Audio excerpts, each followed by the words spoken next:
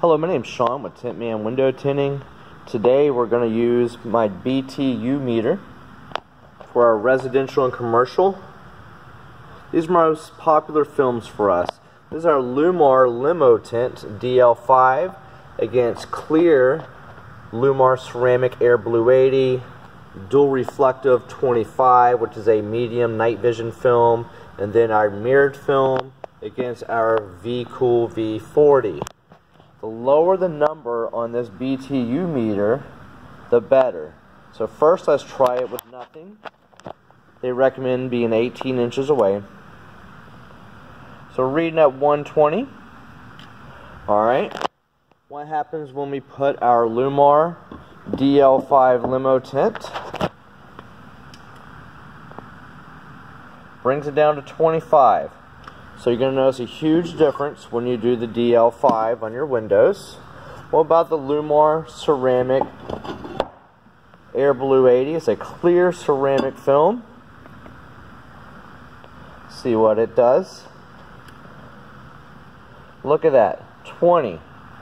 So this clear film, you're actually going to notice a bigger difference in heat rejection in your office or home than this 5% limo tint. Now let's try our DR25.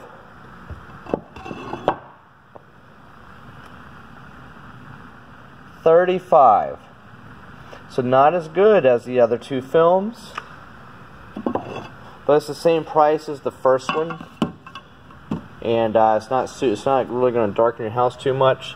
What about the mirror tint? Llumar R20,